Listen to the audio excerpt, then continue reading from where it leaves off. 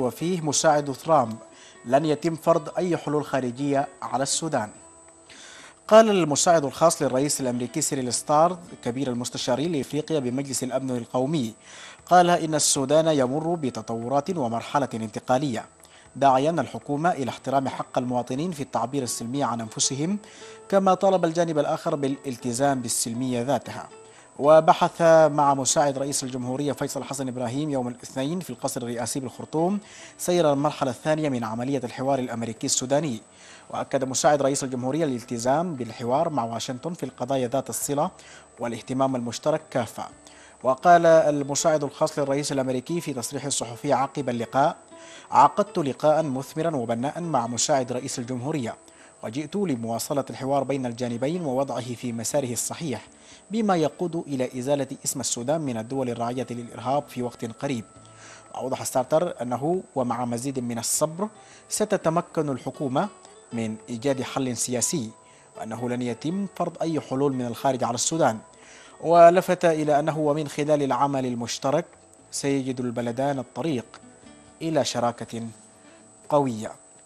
يعني مساعد الرئيس الأمريكي وكبير المستشارين لإفريقيا بمجلس الأمن القومي يتحدث ويؤكد التزام الحكومة والتزام الولايات المتحدة الأمريكية وواشنطن بالحوار مع حكومة السودان ويطلب أيضا الصبر حتى إزالة اسم السودان من الدول الراعية للإرهاب في وقت قريب كما حدد أنا بفتكر أنه يعني أمريكا في إيد الكثير يمكن تعمله إذا كانت حقيقة بتنظر لما يحدث في السودان بعين الشفقة.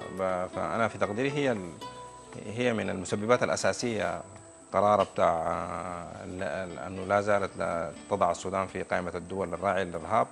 والسودان فنيا إذا جينا نظرنا للوجود في قائمة الإرهاب فنيا هو هو ما المفروض يكون موجود.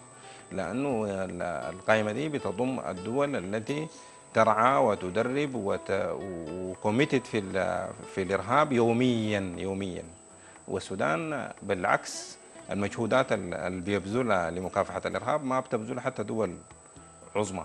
ربما يكون هناك مصالح إقليمية كثيرة جدا جدا وراء. الموضوع بتاع رفع السودان من قائمة الدول الراعية للإرهاب موضوع سياسي لا أكثر من ذلك.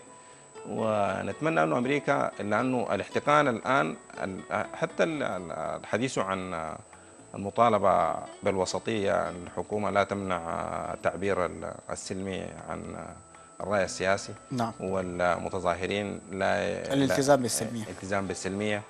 حتى هي ذاته الفجرة الحياة دي هي احتقانات اقتصادية وسببها الأساس هو ال الضغوطات الحصار الأمريكي يعني. نعم. الحصار ما, ما لم يرفع يعني. الكلام على أنه رفعوا الحصار الاقتصادي والبتاع ده كان كلام إنشائي لأنه الموضوع كله اتربط اترحل اترحلت كل الحاجات وجات للرفع دار قائمة الخاف فأمريكا إن كان يعني إن كانت تريد أن تساعد الشعب السوداني في تحديد خياراته وفي انفتاحاته السياسية أنا بفتكر أنه كل الحاجات السودانيين قادرين أنه يحلوا مشاكلهم السياسية وقادرين أنه ينفتحوا وقادرين أنه يتداولوا سلميا في في السلطة. كله بعد أنه الخروج من مأزق الضغوط الاقتصادية المصنوعة دي يعني. نعم. يعني مساعد الرئيس الأمريكي وهو المساعد الخاص له تحدث عن عن عمل مشترك إذا انتظم بين البلدين وهذا طبعا في المرحلة الثانية من عملية الحوار الأمريكي السوداني. البلدين سيجدان طريقهما إلى شراكة قوية.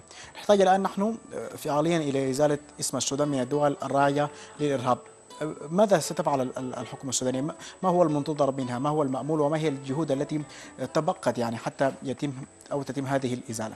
هو الحديث كان تم يعني يعني في عدة نقاط عن حقوق الإنسان عن العمل السياسي قضايا اقتصادية قضايا عن الحريات الدينية عن الحريات الصحفية ودي كلها قضايا مقدور عليها. أنا بفتكر أنه السودانيين كان حكومة كان شعبا الأقرب لأنه يتعاملوا فير مع مع الأمريكان في المنطقة.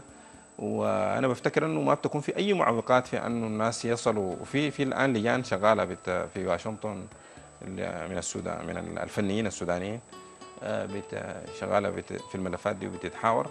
وأنا ما أفتكر أنه في في صعوبة في أنه يصلوا لحلول وأنه يعني أمريكا والسودان يكونوا حلفاء استراتيجيين. إذا يعني يعني ربنا جنبنا التدخلات الإقليمية لأنه بفتكر أنها مؤثرة جدا جدا في نعم. شكرا آه، جميل الأستاذ الشيخ يوسف رئيس تحرير موقع الشروق نت شكرا لك. شكرا جزيلا لك يا كتر خيرك.